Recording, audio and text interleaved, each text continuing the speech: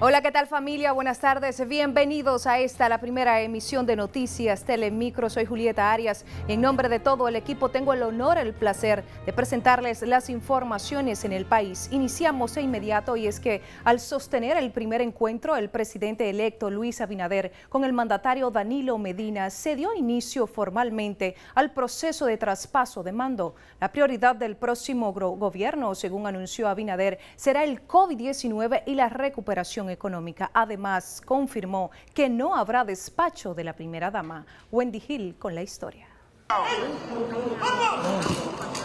Por primera vez, el presidente electo Luis Abinader sube las escalinatas del Palacio Nacional luego de haber sido favorecido con más del 52% de los votos del electorado. Allí se reunió con el presidente Danilo Medina, donde definieron los detalles por el traspaso de administración.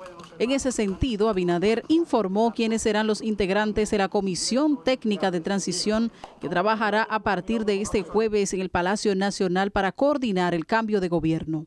Los miembros de la comisión nombrada por el presidente electo son Lisandro Macarrulla, José Ignacio Paliza, Sonia Guzmán, Jochi Vicente, Miguel Seara, Darío Castillo y Gloria Reyes. Organizando todo para que sea todo un traspaso de mando en orden y que eh, todo el país eh, continúe trabajando de manera organizada y que eh, la economía pueda empezar a normalizarse, al igual que haya la colaboración de vida en el tema del COVID-19, que es la preocupación principal de todos los dominicanos y dominicanas. Informó además que habrá otras dos comisiones, una de protocolo y evaluación de personal. El presidente electo aseguró que el combate del COVID-19, así como la recuperación económica, serán los temas prioritarios en su gobierno. Vamos a, tener una comunicación en ese tema tan importante para ver lo que, cómo debemos hacer. Ese es un tema nación, ese es un tema país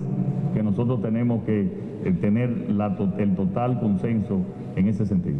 Luis Abinader confirmó lo que habría anunciado su esposa Raquel Arbaje hace un año, de que en su gobierno no habrá despacho de la primera dama. No los programas, sino el despacho per se. Hay muchos programas de eso que pueden depender de ministerios o depender de la misma presidencia. De esos programas se continuarán. Lo que no debe existir es el despacho eh, porque ella no, no ha sido electa. Es importante destacar que desde hace 20 años no se produjo un encuentro entre un presidente electo y el gobernante actual del partido diferentes. Luis Abinader llegó acompañado al Palacio Nacional de la vicepresidenta electa Raquel Peña y Roberto Fulcar. Formando en los próximos días vamos a ir informando de designaciones y lo vamos a hacer por la vía digital. Las nuevas autoridades asumirán a partir del 16 de agosto en un proceso de transición más corto de la historia. Wendy Gil Noticias, Telemicro. Bueno, y el nuevo Senado que se instalará el 16 de agosto, controlado en su mayoría por el Partido Revolucionario Moderno, enfrentará el reto de elegir a los nuevos miembros de la Junta Central Electoral de la Cámara de Cuentas y también al Defensor del Pueblo. De acuerdo a las proyecciones de los resultados de las elecciones del domingo, el PRM se encamina a tener al menos 18 de los 32 senadores que se juramentarán en agosto. Con la matrícula de las dos terceras partes presentes, el Senado podrá escoger a los miembros de la Junta Central Electoral y sus suplentes y de la Cámara de Cuentas. Por igual, ese órgano del Estado tendrá la responsabilidad de designar al defensor del pueblo, sus suplentes y sus adjuntos. La actual defensora Zoila Martínez cesó en sus funciones hace un año desde que fuera nombrada en el año 2013. Mientras el senador electo por el Partido Revolucionario Moderno en la provincia Santo Domingo, Antonio Taveres Guzmán, aseguró que las nuevas autoridades de su partido estarán al frente para enfrentar la impunidad y la corrupción. Taveras Guzmán señaló que la justicia independiente anhelada desde hace años la implementará el PRM. Escuchemos.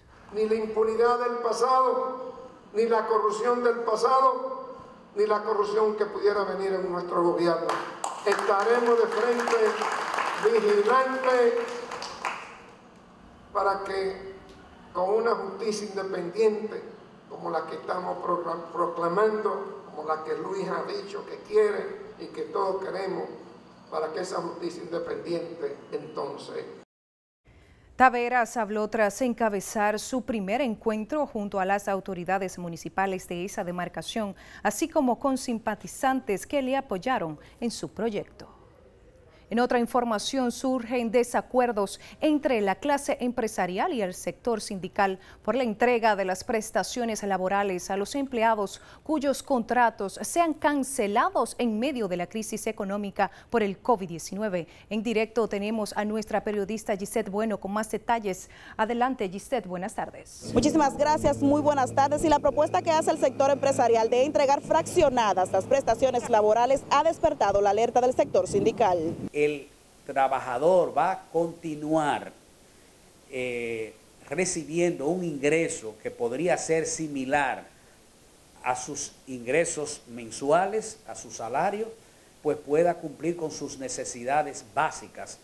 Al empleado no le simpatiza, no le gusta esa idea, por un asunto que es claro. Las prestaciones que reciben los trabajadores que nosotros aglutinamos, la mayoría, son prestaciones que no son de, de suma alta.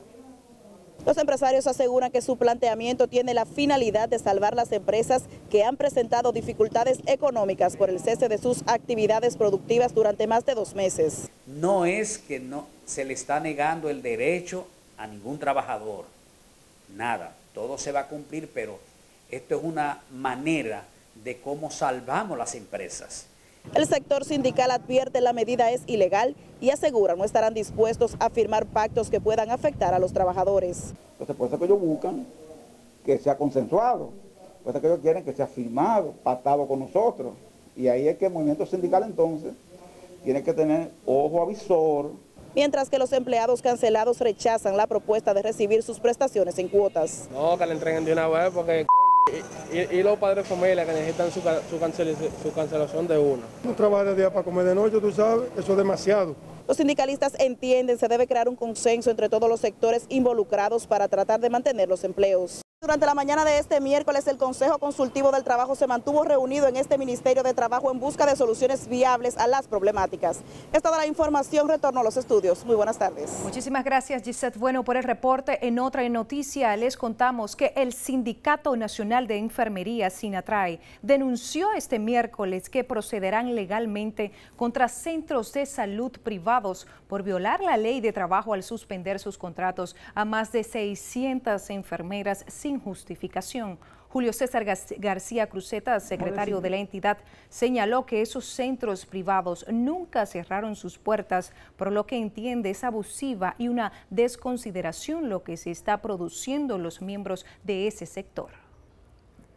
Suspendido el contrato de trabajo a enfermera con hasta 32 años de servicios, con más de 60 años de edad en algunos casos, enfermeras embarazadas, enfermeras con problemas de salud y han violado la ley doblemente porque el Código de Trabajo solo permite 90 días como suspensión y cuando ahora se cumplen los 90 días y van a reintegrarse, le están comunicando dos meses más de suspensión, con lo cual estamos ante una situación bastante grave. Esas enfermeras.